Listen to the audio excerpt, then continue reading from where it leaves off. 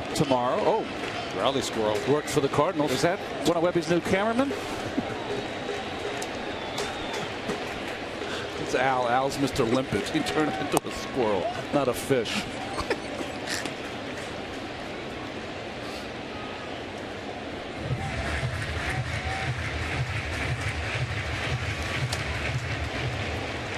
Wow. There he goes. It's not a black cat, but it's flushing wildlife nonetheless. I bet you that put that squirrel in center field. Like Great Dane would be chasing it out of the ballpark. Yes. He doesn't know where to go. Where's the Mutual of Omaha card to read? Marlin Perkins. Marlin Perkins. he doesn't know where to go. Calm down. We need a squirrel wrangler. Take it easy. These guys all eat the seeds. Let's have a little seed path.